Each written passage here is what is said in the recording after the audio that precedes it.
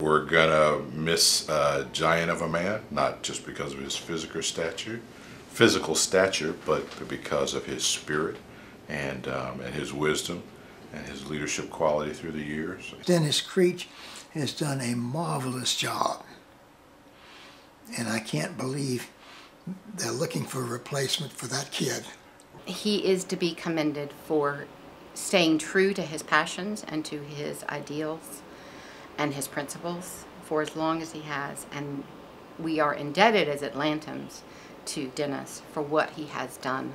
If you counted the amount of electrons and uh, gallons of water that Dennis has been responsible for saving, uh, it would be, and if everybody did that for sure, we'd be at a sustainable planet. And what's so great about it is he's built an organization that's sustainable itself.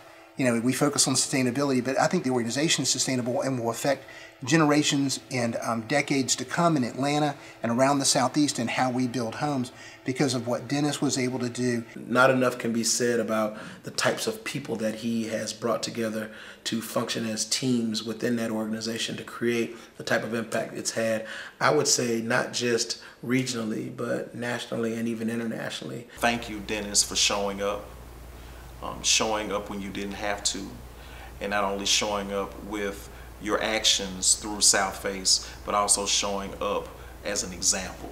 I fully expect you, Dennis, to be a mentor, to be a teacher, to continue to be the Pied Piper out there sharing uh, the ideas and the best practices. You'll actually have time to think now. So I can't uh, imagine the new ideas you're going to come up with. Thank you for paving the way for sustainability, for data centered decision making, and for creating a better environment, a better Atlanta, and a better Southeast region.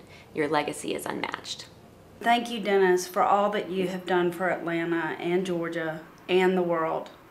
You've done good.